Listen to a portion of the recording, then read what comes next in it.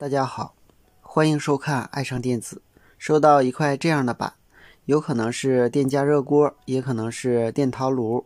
它有四个触摸按键，这段是它的输入，是通过可控硅来控制温度的。这是它的保险，这是一个压敏电阻，保险是应该在运输的过程中砸碎了。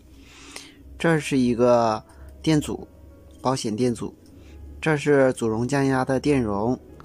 后边还有给它泄放的电阻，这个是滤波电容，这是蜂鸣器，这个位置是插的一个温度热敏电阻。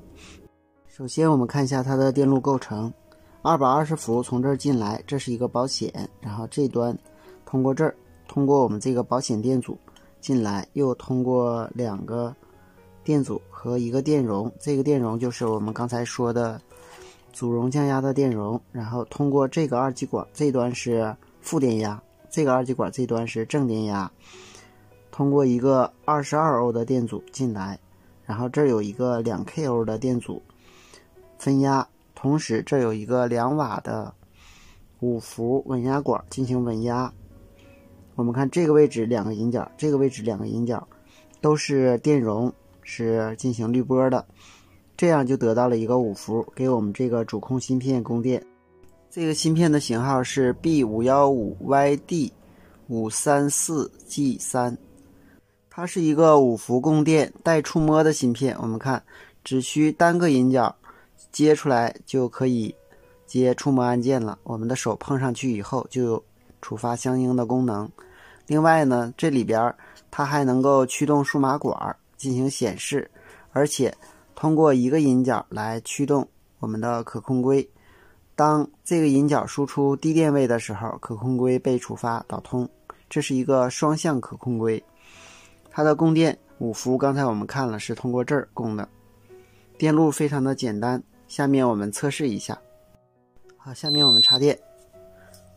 插电的时候，现在是一些横杠，我们看它的功率。这个是五千瓦，这是六千瓦。这边的数码管坏了，现在是正常的。如果我们的热敏电阻开路，我现在把它的线断开了一根，我们看，它现在的状态就是这样的，始终在转圈儿，按任何按键没有反应。所以说，如果这种锅出现故障，出现热敏电阻开路的时候，就会出现这样的故障。下面我们把热敏电阻给它上上。好，热敏电阻上上了以后。它显示是这样，然后我们按按键就可以调功率了。然后我们按这个启动按键，这时就可以加热了。可控硅受 MCU 触发导通。另外呢，这个位置还显示温度。这还有定时功能，这是调节功率的功能。这是停止，然后定时。如果这种电器损坏也非常好修。首先，我们看一下保险是否烧断。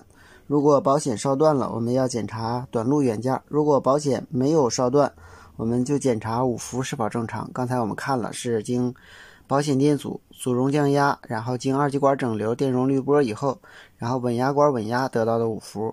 如果没有五伏，那么很显然是这一部分电路的问题。如果有五伏，我们要看这个热敏电阻是否接触良好。